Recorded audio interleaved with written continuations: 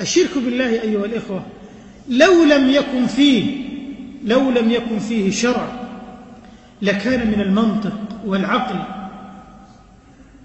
والفطرة السليمة أن لا يسوى المخلوق بالخالق يا لله العجب حينما يقبل بعض الناس على القبور أو على الموتى أو على أحد يدعونه من الأولياء أو الصالحين يسألونه من دون الله أين الله؟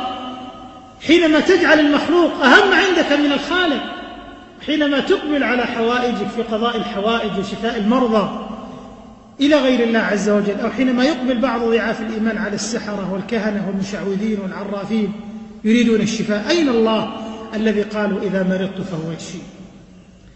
إذا سألت فاسأل الله وإذا استعنت فاستعن بالله. واعلم أن الأمة لو اجتمعت على أن ينفعوك لم ينفعوك إلا بشيء قد كتبه الله لك وإن اجتمعوا على أن يضروك لم يضروك إلا بشيء قد كتبه الله عليك رفعت الأقلام وجفت الصحف. هكذا أوصى النبي صلى الله عليه وسلم الأمة ممثلة في شخص ابن عمه عبد الله بن عباس رضي الله عنه. إذا سألت فاسأل من؟ فاسأل الله.